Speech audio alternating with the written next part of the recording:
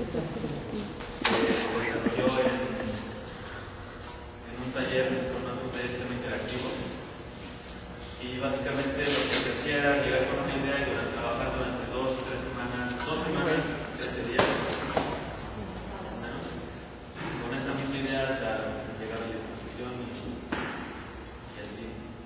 Esta pieza se desarrolló en San Sebastián y tuvo su historia con David Cuartey, Luis Mañas, varios conferencistas que apoyaron esta idea. Es importante esto de interactivos porque es como un, un organigrama muy, muy horizontal donde las instituciones, los autores, colaboradores, autores, es como tan importante para la pieza. Eh, codificarnos, digo, estudio, composición,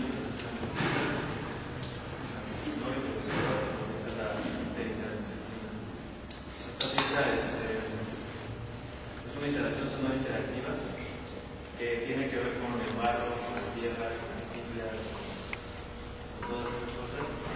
Y la idea era hacer, hacer algo tangible que era como el sonido por medio de la tierra.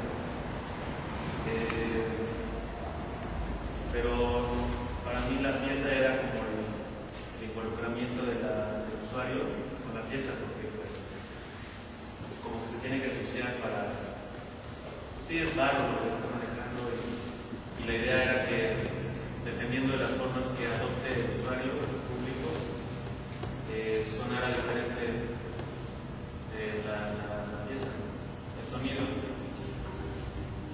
Eh, todo esto sí podía haberse mostrado en una instalación, pero me gustaba más como la idea de un diálogo con el, el medio ambiente,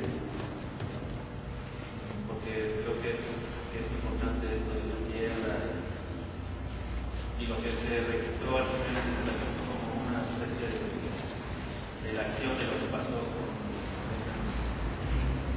Esas de las ideas que vienen con el sonido que era puedes esculpir el espacio con el sonido, con las reverberaciones, el tipo de lugar, que dice mucho del sonido.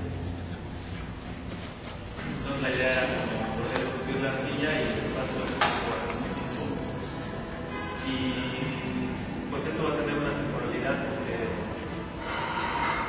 el barro irse, al irse